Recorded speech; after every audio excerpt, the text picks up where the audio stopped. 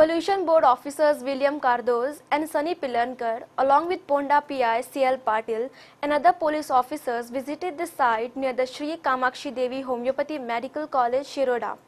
The purpose of the visit was to inspect the area where the nine human skeletal remains were found on 6 July. Chief Minister Manohar Parrikar last week said that Goa Congress President Subhash Shirodkar will face police investigations in connection with the recovery of the skeletons from the backyard of his medical college in the Shiroda village. However, Shirodkar welcomed the investigation saying the cadavers were brought for study purpose in the college. We have the records to show these remains were buried in the pit after securing due certification from State Pollution Control Board, he added.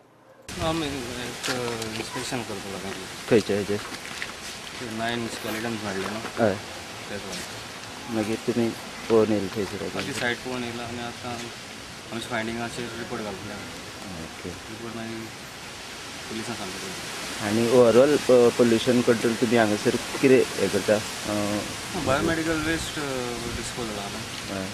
ते हें। करता ते सगळे वेवस्थीत आसता हांगासर आतां काय अं, कितें